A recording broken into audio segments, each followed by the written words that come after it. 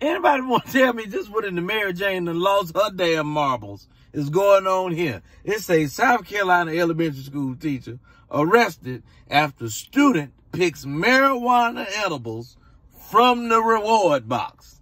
Ain't this about a biscuit and a half? That used to, I, man, I had forgotten all about the reward box. It used to be candy. I think maybe a pencil or just little stuff. Why you got so? You just don't want your damn job. If you want to quit, just say that. Don't don't be out here doing this. Really? You got to be silly as hell. You put a damn marijuana edible in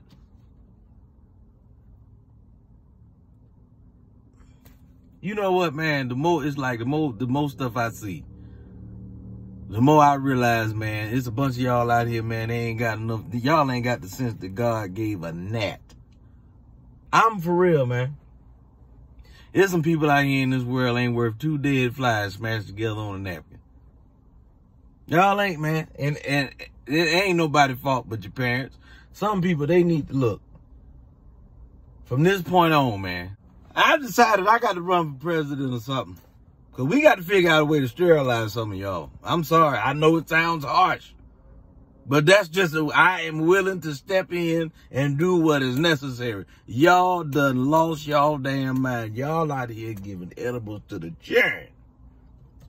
Like these kids ain't got enough they got to go up against without y'all out here tearing up everything. Why, who raised this little girl, man? Who hired her? Everybody at the school need to be fired. Everybody at the school, don't, people don't even know what's going on. They think it's a regular day. Hear your goofy behind in handcuffs getting carried out the building. Then they find out, well, what happened, man? You know they had a little gift box.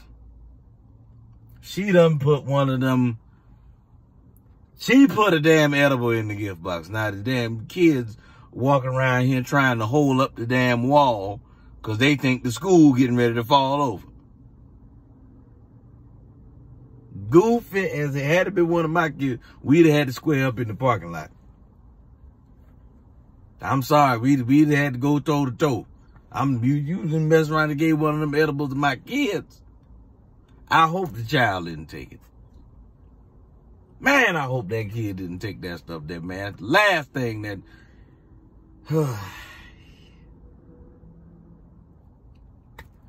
but y'all keep saying that it ain't got no effect on the brain. All right.